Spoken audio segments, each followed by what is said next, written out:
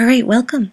This is the third package of airbrush videos, and in this package we're going to show you lots more about making waves and water. So we're going to start off with something really fun, which is making a wave crashing against some stones by blowing the paint around with our airbrush.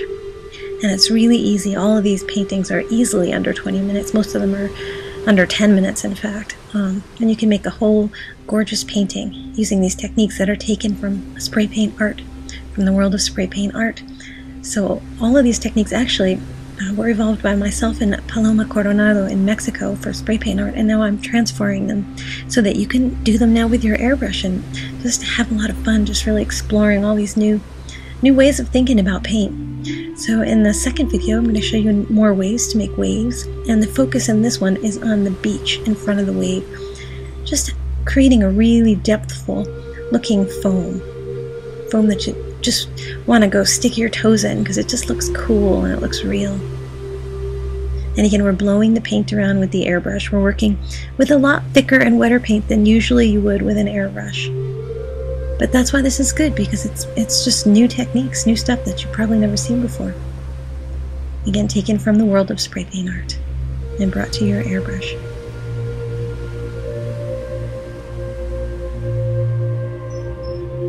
So there's our almost finished painting. We're putting some water on the rocks and a comet and just a few little details and there you go, explained step by step so that you can do it too and have fun. And then we're going to focus on a rough sea.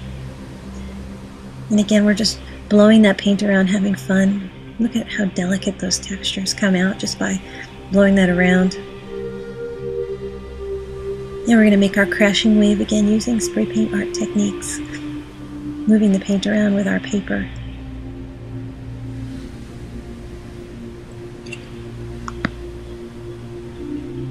And blowing our paint around with our airbrush, which is the new part that's added now that now we have more tools.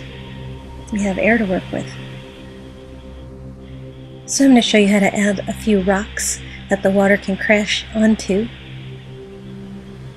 and make them drip with wet water in the most easy way possible. and there's another simple painting done in minutes. And of course you can take all these techniques and experiment with them and make what it is you really want to paint. Maybe you've seen some some interesting places or you have some pictures of places you went on to vacation that you'd like to paint. Well, I'm hoping that these videos will give you some ideas about how to go about doing that. You'll get all the basic techniques for painting waves and this is an underwater scene where I'm teaching how to paint a ship that's been sunk underwater are the waves above the water. And I'm showing you just fun ways to make coral and fun ways to make it look like it's underneath the, the waves. So these techniques use all the materials that we use in spray paint art. They use torn pieces of paper, they use sponges, they use a few brushes and palette knives, and they also use some unusual materials. Things that you might find in, in the grocery store or under your kitchen cabinet. Of course, you should have watched the setup videos before you go about trying all these techniques so that you can get your materials just right. So in this painting, we're going to show you how to make a, a purple wave with water that moves underneath the wave. Just all kinds of variations so that no matter what you paint, you have some idea of how to go about it. How to take what's in your imagination and just easily move it onto the to the paper, to the page, in a way that just really is fun to do. And I try to make these videos fun and relaxing